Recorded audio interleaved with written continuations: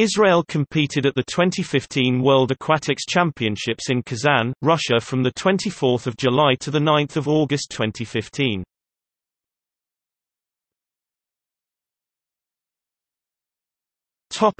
Open water swimming Israel has qualified two swimmers to compete in the open water marathon.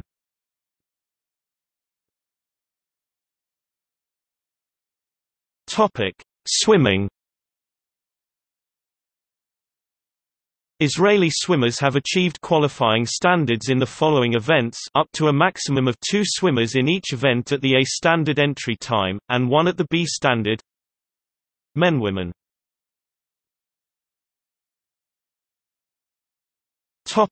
Synchronized swimming Israel has qualified two synchronized swimmers to compete in each of the following events.